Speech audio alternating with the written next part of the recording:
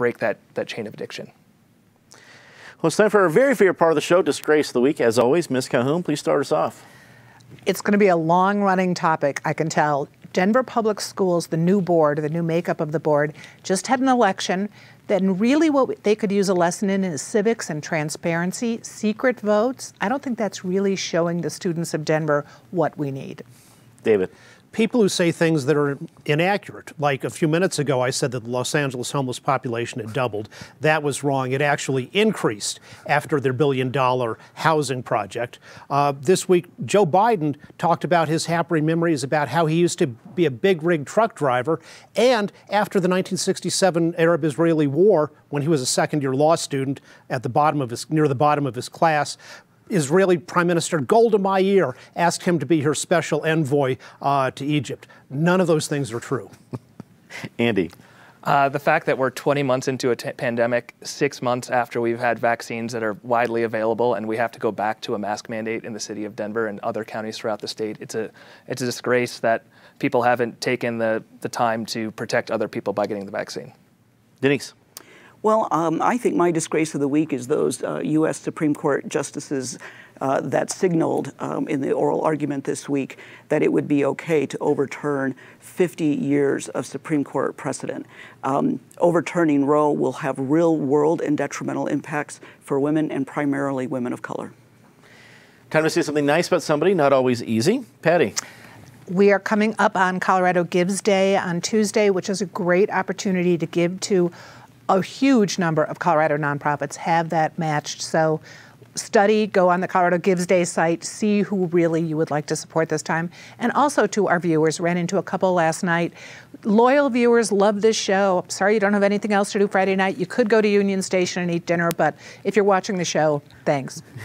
if you do go to Union Station to have dinner, enjoy it, but DVR CIO, watch a little bit later. It's, it's good that way. David pursuant to the 25th Amendment to the U.S. Constitution, when President Biden was having a colonoscopy a couple weeks ago, he turned over the duties of the presidency to Vice President Harris. By our Constitution, she became the acting president. And so we have had our first female president. And by the way, considering President Biden's state, I wouldn't be shocked if she becomes our first longer term uh, female president and before 2024. Andy, we go to you. Um, it's not often that I get to see a civil rights activist and abolitionist run for office, and Elizabeth Epps is doing that in House District 6, and that was a great thing to see that announced yesterday. Denise. I'm just going to uh, mention a, maybe a, a, bill that actually moved in our United States uh, Congress, and it moved by bipartisan support, and it's known as Momnibus. And it was uh, run by a first time uh, legislator, uh, Congresswoman Lauren Underwood, and it really is trying to get at the issue of maternal health. Uh, right now, we see three out of five pregnancy related deaths that they are preventable, and this bill is hoping to go to some length to bring those numbers down. I think it's a good job, well done. Well, I'll get involved two things, mentioning one, uh, echoing Patty's remarks about Colorado Gives Day.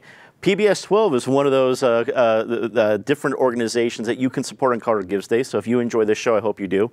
And also, uh, a melancholy uh, say something nice. We lost uh, the show lost one of its biggest fans this week, Paul Stafford, a longtime Colorado Inside Out fan and also a cousin of mine.